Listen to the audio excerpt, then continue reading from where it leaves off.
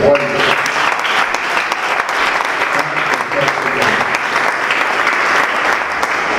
su nombre sea la gloria.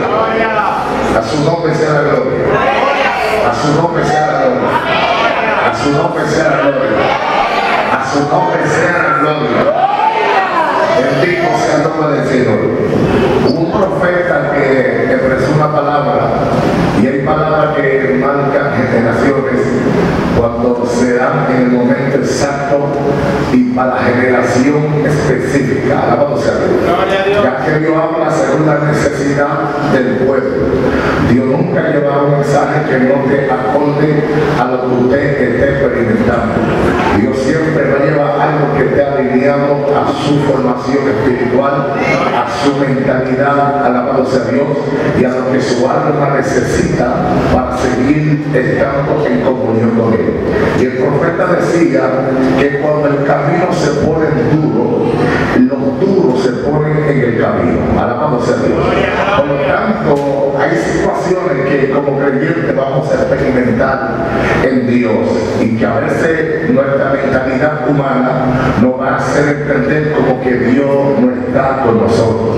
Hay gente entiende que porque Dios está con ellos, todo le tiene que salir como ellos lo planearon. Hay personas que piensan que porque alaban a Dios, todas las cosas tienen que ser como ellos dicen. Alabado sea Dios. Y las personas que piensan así es porque no saben andar en la voluntad de Dios. Alabado sea Dios. En la voluntad de Dios tú tienes que acercar todo lo que venga, aún lo que a ti no te gusta. Santo Dios. Porque todo lo que Dios permite, lo permite siempre con un propósito, aunque tú no entiendas al principio. Dios nunca te va a en una situación para dejarte vergüenza o en confusión delante de tus enemigos. Todo lo que Dios permite siempre es para que su nombre se glorifique y usted que le busca a Él le conozcas más. Alabado sea Dios. Tipo de situación. Alabado sea Dios. Por ejemplo, nadie puede decir que Dios sana de boca si nunca ha estado enfermo y Dios lo sanó. Eh, Nadie puede decir que Dios bendice si nunca ha tenido deuda y Dios pagó la deuda. ¿Cuántos entienden esto? Nadie puede decir que Jehová pelea por mí si nunca usted ha estado en guerra y Dios ha dado la victoria en la guerra. Así que todo lo Dios te permite experimentar es para que tú le conozcas a profundidad. No hay forma de conocer a Dios sentado en un banco. No hay forma de conocer a Dios cuando todo te esté saliendo bien. No hay forma de conocer a Dios cuando todo el mundo te apoya. Alabado sea Dios. La única forma que tú sabrás cómo Dios se manifiesta en situaciones caóticas y tensas. Porque tú mismo piensas que no hay salida para ti. Ahí entonces se aparece Dios y empieza a orar todos los hombres y mujeres de la Biblia que pudieron exaltar alabanza y que su salieron en la Biblia fueron gente que conocieron a Dios en circunstancias incómodas y aún gente que contaba profecía, palabra y la palabra que Dios le como que chocaba con su realidad. Pero tu realidad no está por encima de lo que Dios te dijo sino que lo que Dios te dijo está por encima de tu realidad. Gloria a Dios. La palabra profética que Dios estableció sobre ti va a provocar guerras, levantamientos, persecuciones, tristeza gente se te puede alejar del lado. Muchas cosas van a pasar. Lo que yo sí sé es que el Señor estará con nosotros todos los días hasta el fin del mundo es una promesa inviolable. Esa promesa es tan inviolable que dice que aunque el hombre sea infiel, él permanece fiel. Entonces, no hay forma aquí de darle cabida a la tristeza. La tristeza me puede visitar, pero no puede venir conmigo. Con gloria a Dios. Santo, visita tiene que irse. La visita tiene su hora de irse para su casa y volver de donde salió. Por lo tanto, cualquier ataque, cualquier espíritu inmundo puede visitarme y hacerme la guerra, pero tiene un horario, una fecha de irse por donde vino. Porque por un camino llegarán tus enemigos, pero por siete huirán delante de ti, dice el Señor.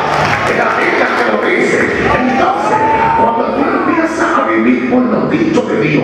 Todo te va a empezar a salir conforme a lo que Dios diseñó para ti. Lo que pasa que a veces queremos que la cosa salga en mi tiempo, en mi hora. Cuando yo digo y no es así, alabado sea Dios, aquí las cosas se hacen en el tiempo que Dios estableció. Alabanza en el tiempo que Dios profetizó. Y si usted se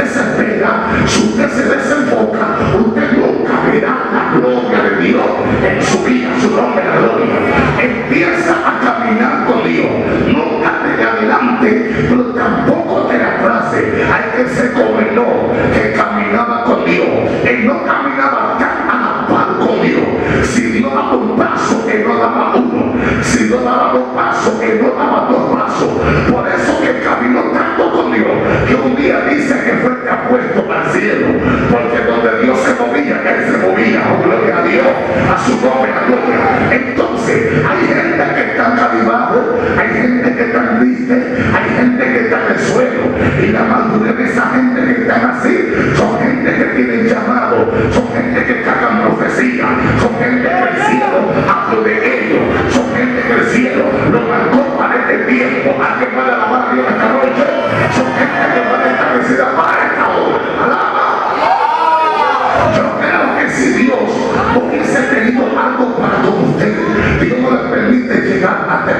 cuando uno empieza a este tiempo vivo, algo Dios va a hacer con él, tanto temprano, algo Dios va a manifestar.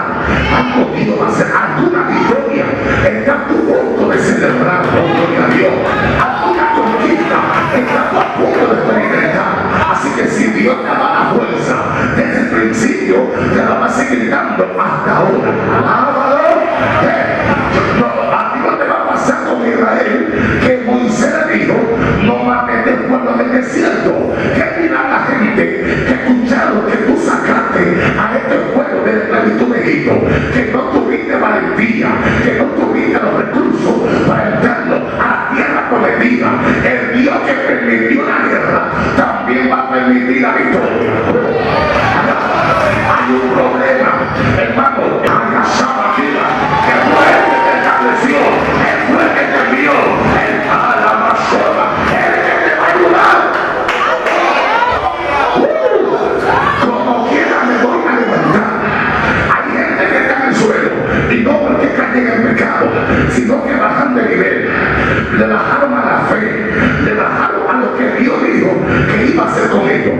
Grazie.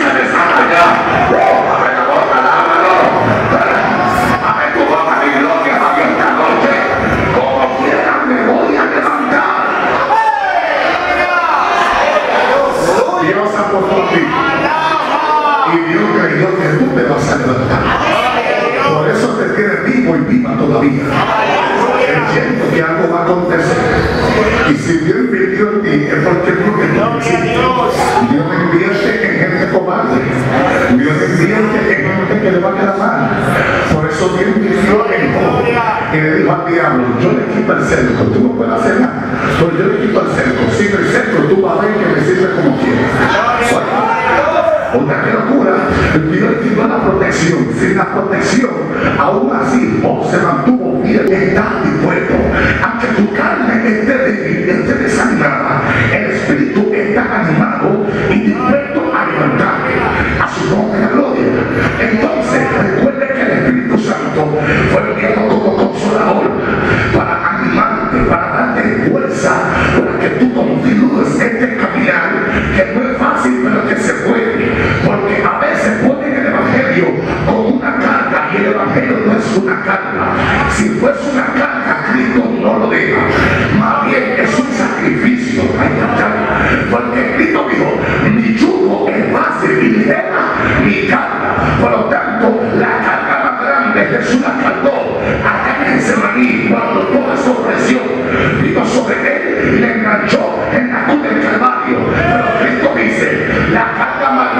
Grande me la llevé, que es el pecado.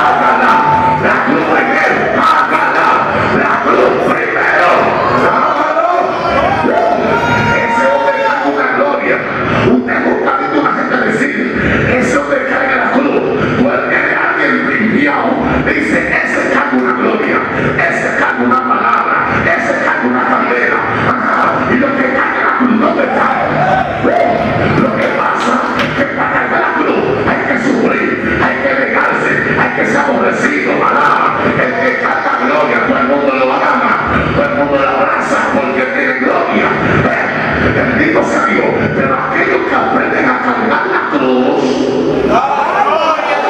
no son muy guerreros. Y en el camino. Lo abofetean y le dicen profetiza. Alaba. Eso pasó con Jesús cuando empezó a cargar la cruz. Lo mismo que decían, Osana, bendito el que viene en el nombre del Señor. Dijeron, crucifíquenle. Jamás. Por eso que la gente no quiere cargar la cruz, porque la cruz provoca pesadilla, provoca insulto.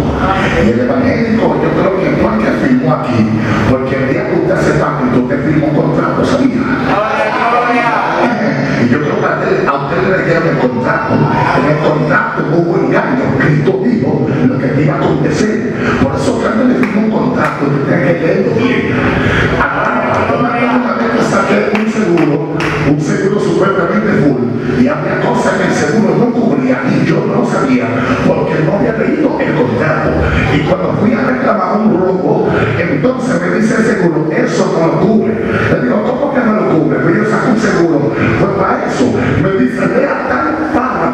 en tal línea, como lo leí, decía que no cubría. Si yo lo hubiese dicho antes de pagar el seguro, no lo pago o saco un seguro más, ¿cuánto dice gloria? Entonces, cuando usted se convirtió, lo primero que Cristo dijo,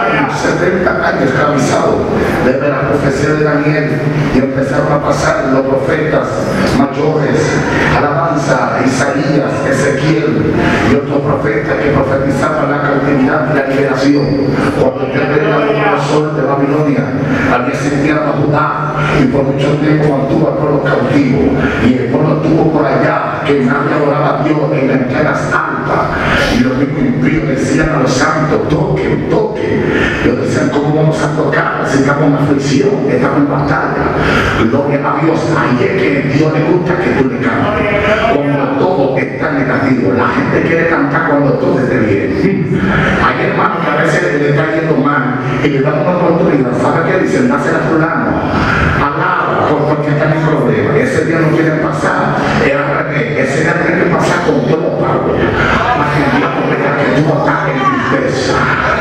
Eso le gusta al diablo, verte caminado, verte triste, lo oculto cabeza para abajo, no levante su cabeza equita y alabe al que está vivo de los siglos de los siglos.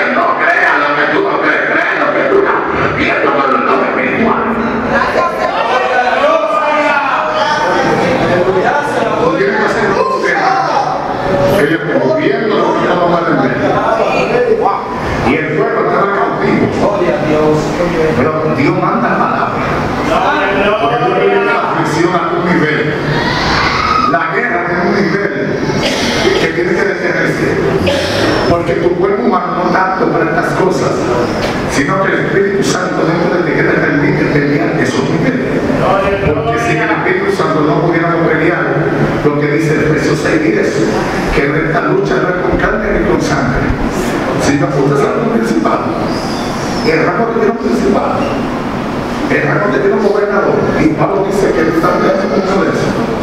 Si tú estás peleando con algo así, es porque tu nivel espiritual es bien elevado. Porque Dios nunca te va a permitir pelear con algo que no te altura. Alaba. Todo lo que a ti te ofrenda, porque tú estás a la par o estás por encima. No creo que estés a la par porque esos retos son menores. Y tú el Espíritu superior que el Espíritu Santo. No sé si me entendió. Cuando un demonio rango, es un rango el menor porque es un espíritu inmundo. Tú tienes el Espíritu Santo adentro.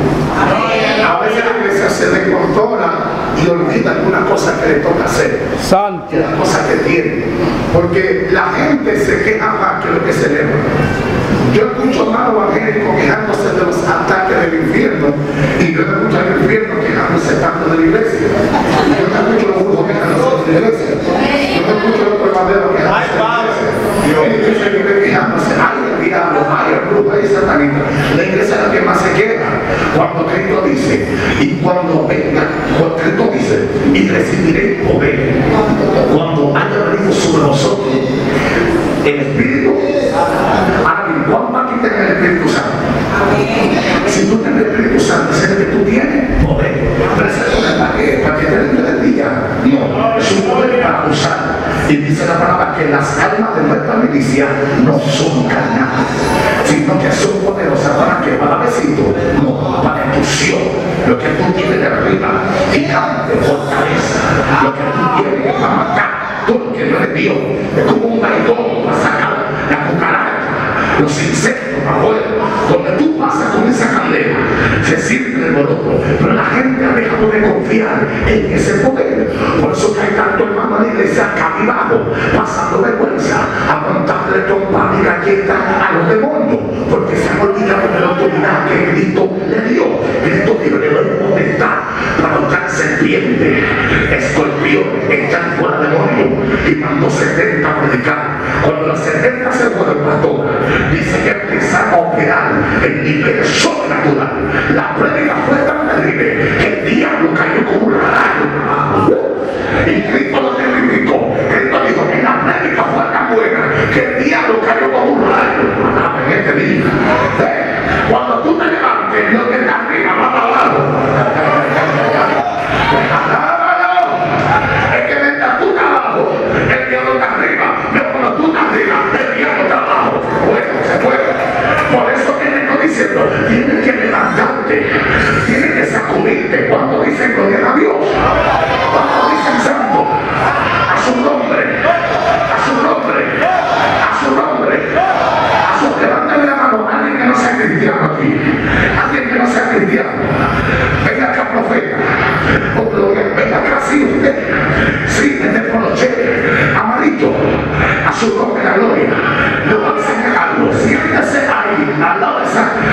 esa butaquita, siéntese en el suelo,